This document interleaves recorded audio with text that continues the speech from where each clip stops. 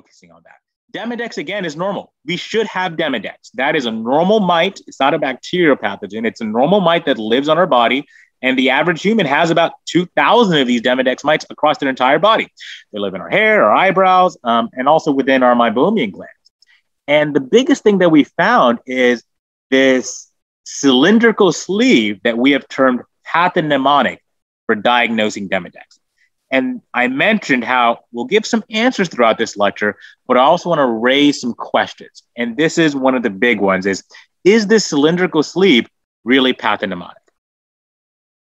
Where that term came from was um, from a few studies, but this is one of the main ones, where they did a study of evaluating the lash margin of um, several different cases.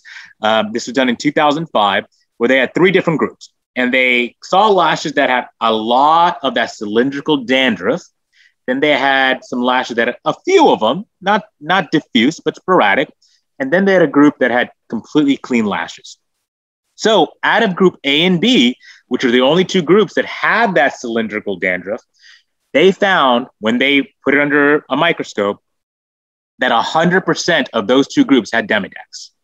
So from that study, which is the main one that's referenced, we have come to the term if you see that cylindrical sleeve, it's pathognomonic.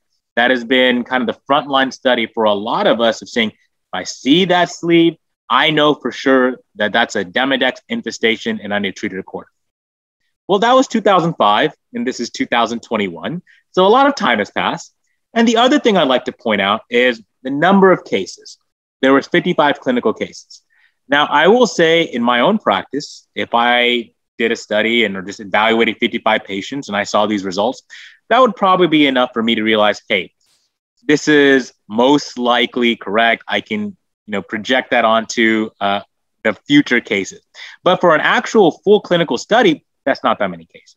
So fast forward to 2019. This was another study, uh, far more patients, uh, close to 1,700 patients in both groups, and they evaluated that lash margin again and they look for that cylindrical sleeve.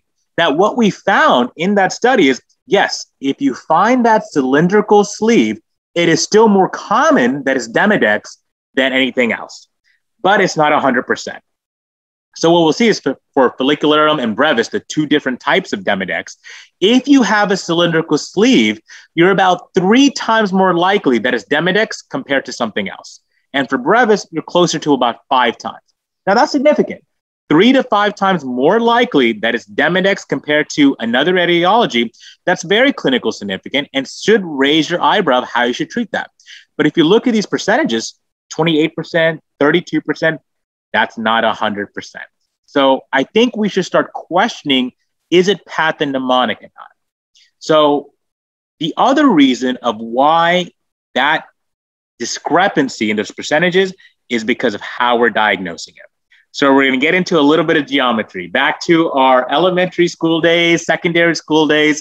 Let's go into what's a cylinder and what's a dome.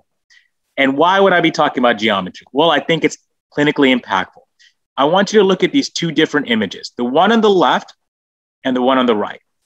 The one on the right is what most people and in studies have shown pathognomonic for Demodex, that nice cylindrical formation that is more likely to be Demodex.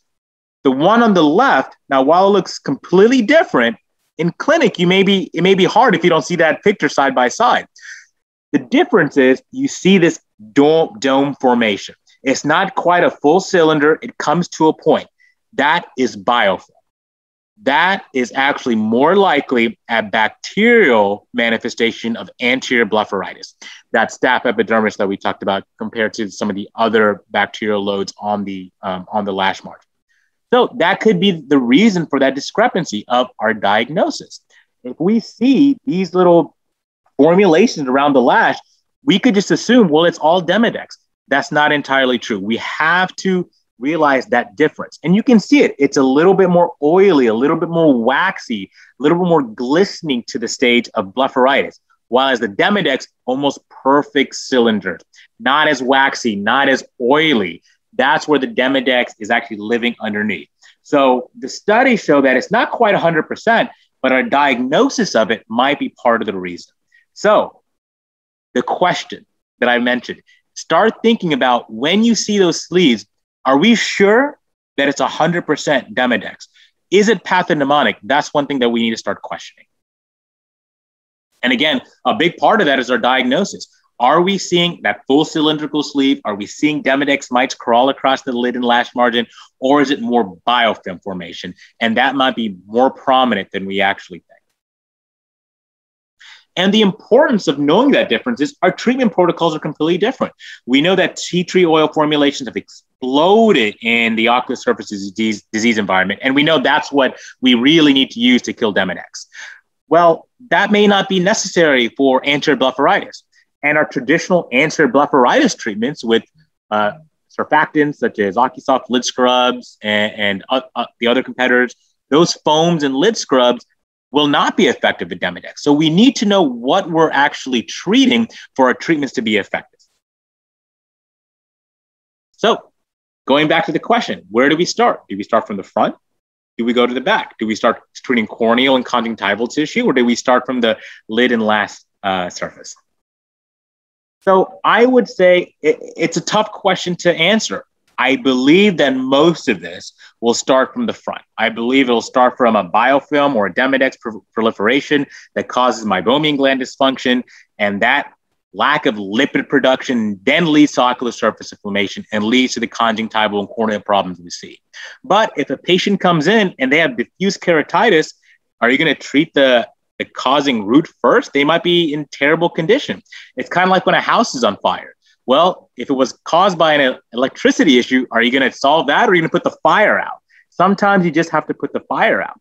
So if you see diffuse and rampant keratitis or conjunctival staining, sometimes you need to address that first just to get the patient comfortable and to a stage where the chronic therapy will be effective. But eventually, you need to treat the chronic underlying issue, which is usually lid and lash margin disease. And if you never tolerate it, all you're doing is putting more and more bandages on.